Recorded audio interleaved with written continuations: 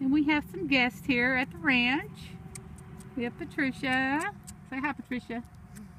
And Hello. Sarah. Hi. And I love that Bill is over there being one with Rowdy with Houdini. And it's so cute. That's so nice. Your nose is warm. So Soft. nice. Houdini. Houdini has become the star of the ranch. Play. Go play, Houdini. Play with William. it's funny. There's Rowdy girl play, back and then there. The second later, they'll just make you feel like a fool for not playing. Can Rowdy Girl be touched? Oh,